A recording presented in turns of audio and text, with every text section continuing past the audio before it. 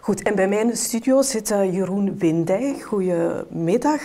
Uh, 15 fusies zijn er en zeven nieuwe gemeenten. Is dat uh, volgens de verwachtingen?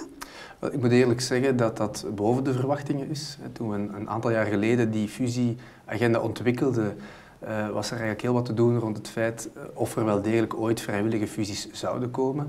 De vorige periode zijn er effectief geen, geen geweest. Deze periode um, hadden we een bepaald moment één, twee, drie fusies en, plots zaten we met zeven fusietrajecten.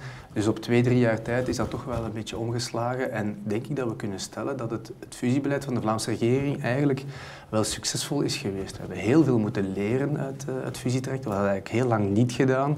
De Antwerpse fusie van begin jaren 80 was eigenlijk de laatste echte fusieoperatie.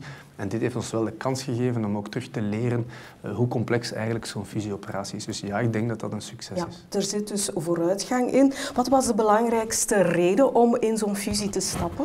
Wel, we hebben dat laten onderzoeken door de universiteiten van Gent en, en KU Leuven. Um, omdat we het nuttig vonden om daar ook bij de, bij de, bij de stakeholders, de mensen die de fusie hebben beslist, om daar ons, ons oor te luisteren te leggen. En wat opviel was eigenlijk dat bestuurlijke motieven de doorslag hebben gegeven. En wat zijn dat bijvoorbeeld? Dat zijn motieven die te maken hebben met de dienstverlening. Dat men zich de vraag stelt, hoe kunnen we in de toekomst de dienstverlening van de gemeente op peil houden? En dat men daar twijfels bij had of men dat wel op eigen kracht kon doen. Een tweede belangrijk motief, er zijn er nog, maar ik ga er twee aanhalen, is bijvoorbeeld de bestuurlijke kwetsbaarheid. De vaststelling, ja, eh, de vaststelling dat, uh, dat um, heel wat gemeentelijke diensten soms uh, uit één man bestaan. Eenmansdiensten, één man of vrouw uiteraard. En dat men daardoor vrij kwetsbaar is. Dat de dienstverlening in bepaalde gemeenten soms afhangt van de aanwezigheid van één ambtenaar. En dat is eigenlijk toch niet zo'n uh, niet zo'n goede, gezonde situatie. Nee.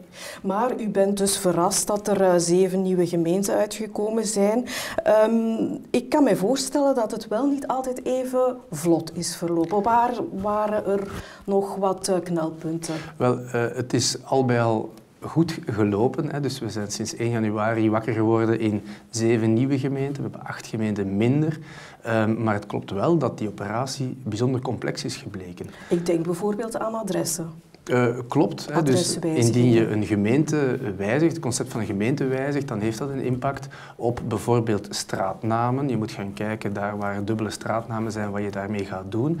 En we hebben zo de adressen van 195.000 burgers moeten wijzigen. En dat heeft wel wat voeten in de aarde. In eerste instantie kan je dat doen aan de kant van de overheid, daar waar wij adresgegevens hebben van burgers kunnen we die, die aanpassingen wel doen. Je hebt de aanpassing in het Rijksregister. Maar daarnaast is het ook zo dat heel veel bedrijven en organisaties adresgegevens hebben. En hun dienstverlening afhangt van de juiste adresgegevens. En daar hebben we ook geprobeerd, hoewel dat toch niet evident is als overheid om al die zaken juist te krijgen, hebben we toch geprobeerd om proactief naar die bedrijven toe de stap te zetten om hen te wijzen op die gewijzigde adressenbestanden en hen aan te sporen om, um, om hun bestanden aan te passen, zodat de burger niet te dupe is van het feit dat hun adres is gewijzigd. Helaas, uh, heel veel bedrijven hebben wel die stap gezet, maar een aantal hebben dat niet gedaan. Ja. En dat konden we jammer genoeg in de media ook lezen, dat er daar wel wat er, incidentjes waren. Er waren ook verhalen in de media die positief uitdraaiden. Hè. Bijvoorbeeld, ik denk aan de autoverzekering. Sommige uh, gemeentes die gefuseerd zijn, die moesten plots minder betalen voor een autoverzekering. Waren er nog zo van die voordelen? Ja, ik denk, ik denk dat misschien een van de belangrijkste voordelen is dat um, elk van die zeven fusiebesturen ervoor geopteerd heeft om de belastingtarieven op het laagste niveau te leggen voor de belangrijkste belastingsreglementen. De aanvullende personenbelasting en de opcentiemen op de onroerende voorheffing, die zijn in elk van die zeven nieuwe fusiegemeenten op het laagste niveau gelegd van de vroegere gemeenten. En dat is toch iets dat de burgers rechtstreeks in hun portefeuille uh, voelen. Dus ik denk dat dat wel een positief uh, gevolg is van die fusies. Ja, dus de algemene conclusie, het is eigenlijk redelijk vlot verlopen. Wel, ik denk dat we kunnen zeggen dat het redelijk vlot is verlopen, maar ik moet ook wel, moet ook wel erkennen dat er hier en daar wel belangrijke frustraties zijn geweest, dat we gestoten zijn op ja, echt wel administratieve hindernissen uh, voor dergelijke fusieoperaties en het kan altijd beter. Dus ik denk dat we echt wel moeten gaan kijken, mochten er nog fusieoperaties komen, hoe we de hinder, zowel voor burger als voor de gemeenten, als voor de verschillende administraties en voor elke belanghebbende, hoe we die hinder zo klein mogelijk ja. kunnen maken. Het is natuurlijk een, groei, een groeiproces, daar horen kinderziektes bij. En de fusies zijn alleszins niet afgestraft bij de gemeenteraadsverkiezingen. Ja, dat is ook een belangrijke vaststelling inderdaad. Dat we zien dat er vooraf toch wel wat uh, terughoudendheid was uh, bij wat, wat het gevolg zou zijn van zo'n fusieoperatie. Er zijn heel wat herinneringen aan de verplichte fusieoperatie van 1976. Um, en deze keer moeten we achteraf uh, zeggen, durven zeggen, durven vaststellen dat dat toch globaal uh, veel serener verlopen is dan iedereen had verwacht. Het is zo dat er één volksraadpleging is geweest in één van de fusietrajecten, maar die had niet, vol, niet voldoende opkomst, dus heeft niet echt een directe impact gehad.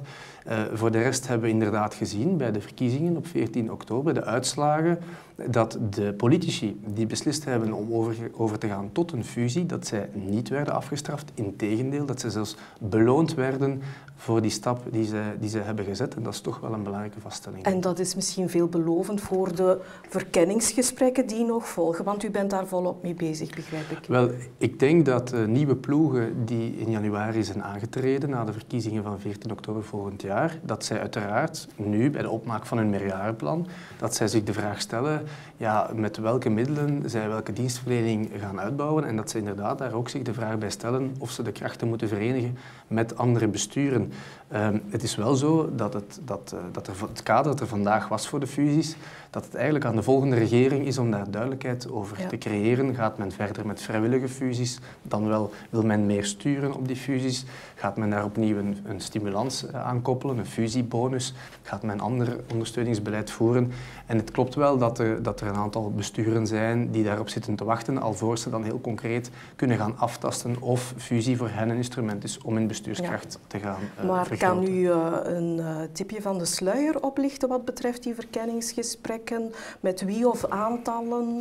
Nee, ook simpelweg omdat dat vandaag niet concreet genoeg is. Hè. Dus ik denk dat elk bestuur vandaag, elke ploeg, zij het een nieuwe dan wel een ploeg die verder bestuurt, na de vorige jaren al bestuurd te hebben, dat zij momenteel een oefening aan het maken zijn. Het is daar een beetje te vroeg voor. Wij worden daar vandaag niet heel frequent over geconsulteerd of toch niet heel uh, uh, specifiek, heel concreet. Precies omdat men wel wil weten wat de spelregels zijn als je aan zo'n ingrijpende operatie wil beginnen. En dat kader, daar moeten we even nog wachten op de regionale verkiezingen en op de vorming van een nieuwe regering die daar hopelijk wel snel duidelijkheid over kan geven. Goed, dankjewel Jeroen Windij. Graag gedaan.